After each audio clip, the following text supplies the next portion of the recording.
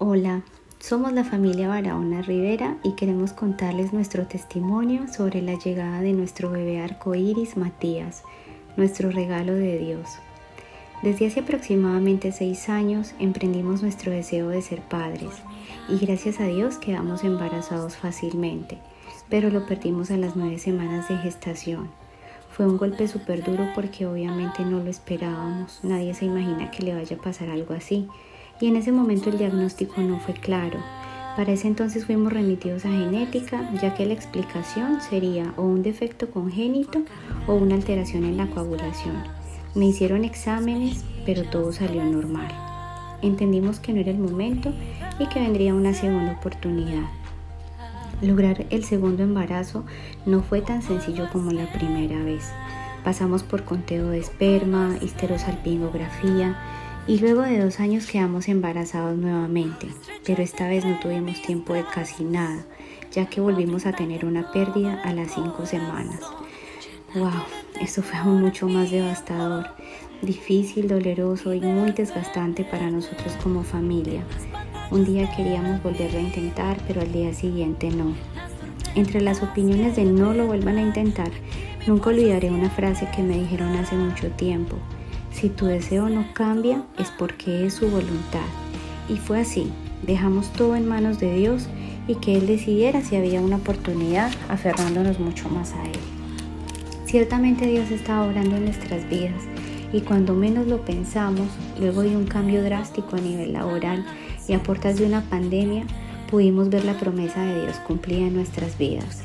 Quedamos embarazados otra vez y esta vez teníamos la fe intacta. Conocimos gracias a la recomendación de una familiar al doctor Juan Carlos Vega Malek, quien en plena cuarentena desde la primera llamada cuando le expuse mi caso fue súper claro y me dijo, ¿estás consciente de que debemos aplicar heparina? Obviamente le dije sí y todo se dispuso para recibir atención médica oportuna a pesar de que ni siquiera podíamos salir de la casa. El doctor Vega me consiguió una cita de urgencias con el mejor hematólogo, quien me envió de inmediato las inyecciones y exámenes médicos pertinentes. En efecto, el diagnóstico por fin se conoció y era trombofilia. Fueron 248 inyecciones. Pasamos por diagnóstico de restricción de crecimiento intrauterino, fue un embarazo difícil a nivel de náuseas y vómitos durante todo el embarazo hasta el último día, pero la batalla más difícil fue la mental.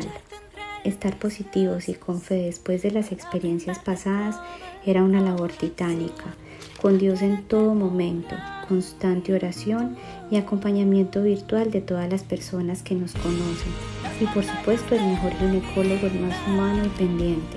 Es increíble cómo el doctor Vega hace que veas las cosas muy muy sencillas. Fue así como el 17 de diciembre Dios nos ha concedido el mejor regalo del mundo, nuestro bebé Matías. Es un bebé sano, hermoso, perfecto. Es el amor más profundo y verdadero que hemos podido experimentar. A pesar de que nada fue como lo soñamos o como el protocolo social indica, no cambiamos por nada lo vivido. La distancia nos unió más a los seres queridos. Hicimos una revelación de sexo virtual.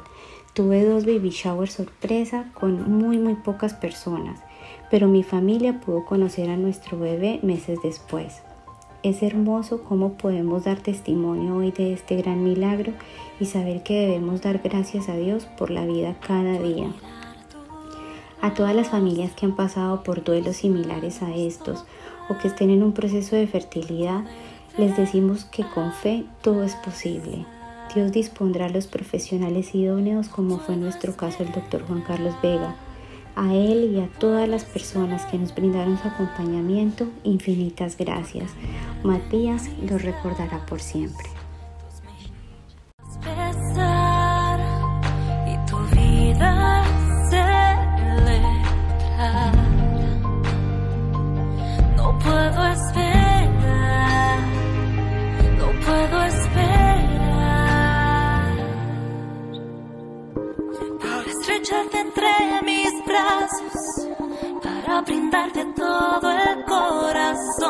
llenar